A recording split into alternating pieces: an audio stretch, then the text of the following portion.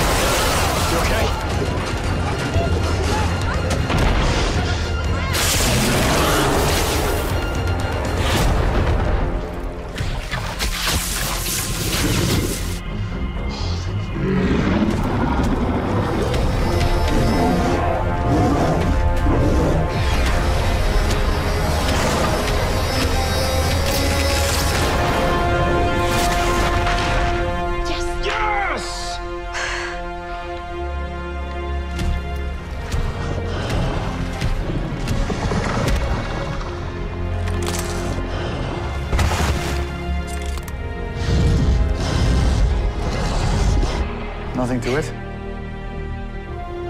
Long live the king.